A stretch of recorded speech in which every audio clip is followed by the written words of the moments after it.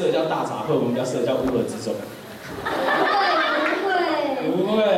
那我们就期待一下你们今天的表演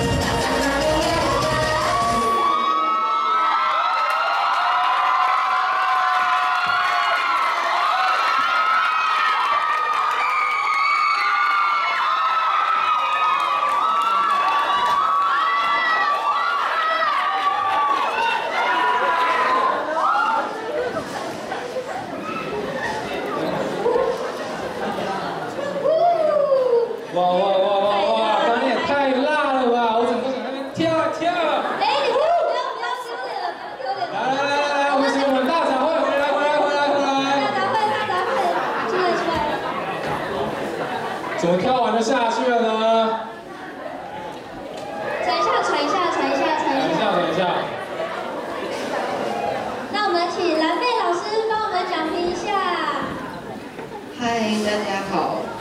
呃，辛苦了。